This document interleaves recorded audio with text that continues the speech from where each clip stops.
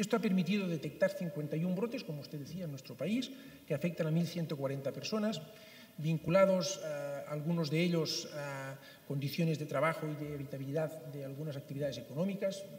Son conocidos los vinculados a mataderos, no tanto por las condiciones específicas de trabajo, sino por los colectivos que desempeñan esos trabajos. Algunos otros, quizá los que más nos preocupan ahora, los vinculados a algunas explotaciones hortofrutícolas en la zona de Lérida y en la zona de, Huesca.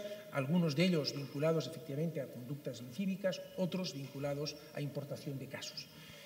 Las comunidades autónomas, he de decir, eh, siempre con prudencia, porque evidentemente eh, riesgo cero no existe, de decir que las comunidades autónomas hasta ahora han detectado precozmente estos casos y han actuado con contundencia.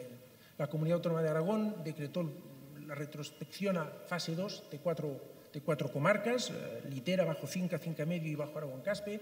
La Comunidad Autónoma de Cantabria cuarentenó un edificio donde había dos brotes, en principio sin relación aparente.